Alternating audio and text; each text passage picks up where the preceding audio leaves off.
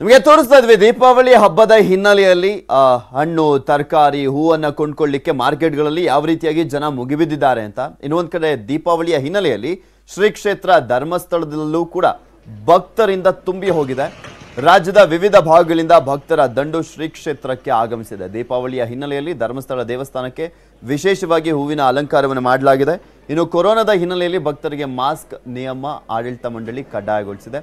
Corona unlock ಬಳಿಕ ಇದೇ ಮೊದಲ ಬಾರಿಗೆ ಶ್ರೀ ಕ್ಷೇತ್ರಕ್ಕೆ ಇಷ್ಟೊಂದು ಸಂಖ್ಯೆಯಲ್ಲಿ ಭಕ್ತರು ಆಗಮಿಸಿದ್ದಾರೆ. ಅಲ್ಲಿ ಯಾವ ರೀತಿಯಾಗಿದೆ ಪರಿಸ್ಥಿತಿ? ಜನಸಾಗರ ಯಾವ ರೀತಿಯಾಗಿ ಸೇರಿದೆ ಅನ್ನೋದ್ರ ಬಗ್ಗೆ ನಮ್ಮ ಪ್ರತಿನಿಧಿ ಕಿಶನ್ ಶೆಟ್ಟಿ ಪ್ರತ್ಯಕ್ಷ ವರದಿಯನ್ನು ಕೊಟ್ಟಿದ್ದಾರೆ, ನೋಡೋಣ.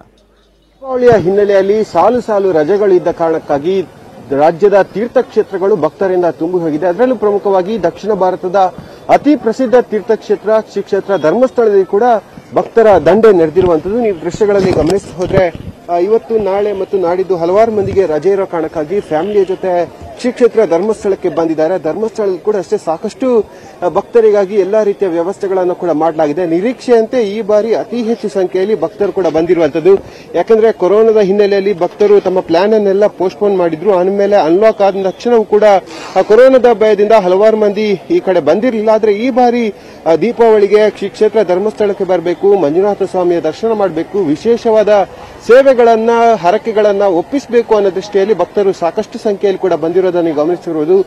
ಆ, ದೀಪಾವಳಿಯ ಹಿನ್ನೆಲೆಯಲ್ಲಿ ಕ್ಷೇತ್ರದಲ್ಲಿ ಕೂಡ ಸಾಕಷ್ಟು ಹೂವಿನ ಅಲಂಕಾರವನ್ನು ಕೂಡ ಮಾಡಲಾಗಿದೆ. ಇವತ್ತು ನಾಳೆ ಮತ್ತು ನಾಡಿದ್ದು ಅತಿ ಹೆಚ್ಚಿನ ಸಂಖ್ಯೆಯಲ್ಲಿ ಧರ್ಮಸ್ಥಳಕ್ಕೆ ಭಕ್ತರು ಬರುವಂತಹ ಸಾಧ್ಯತೆಗಳು ಕೂಡ ಬಹುತೇಕ ದಟ್ಟವಾಗಿರುವಂತದ್ದು ಆ ಧರ್ಮಸ್ಥಳಕ್ಕೆ ಬಂದ್ರೆ ಕೂಡ ಇಲ್ಲಿನ ನೆರೆ ಅಂದ್ರೆ ಸುಮಾರು ಮೂವತ್ತರಿಂದ ನಲವತ್ತು ಕಿಲೋಮೀಟರ್ ಆಸ್ಪಾಸ್ ದೂರದಲ್ಲಿ ಇರುವಂತಹ ಕುಕ್ಕೆ ಸುಬ್ರಹ್ಮಣ್ಯಕ್ಕೆ ಕೂಡ ಹೋಗಬಹುದು ಅನಂತರವಾಗಿ ದಕ್ಷಿಣ ಕನ್ನಡ ಜಿಲ್ಲೆಯಲ್ಲಿ ಅತಿ ಪ್ರಸಿದ್ಧ ತೀರ್ಥಕ್ಷೇತ್ರಗಳಿವೆ, ದೇವಸ್ಥಾನಗಳಿವೆ, ಅವೆಲ್ಲವೂ ಕೂಡ ವಿಸಿಟ್ ಅನ್ನ ಕೊಡಬಹುದು ಅನ್ನೋ ಪ್ಲಾನ್ ಭಕ್ತರಿಗೆ ಆಗಿರುವಂತದ್ದು ಹಾಗಾಗಿ ಬೆಳಗಿನ ಕೂಡ ಸಾಕಷ್ಟು ಸಂಖ್ಯೆಯಲ್ಲಿ ಭಕ್ತರು ಬಂದಿದ್ದಾರೆ.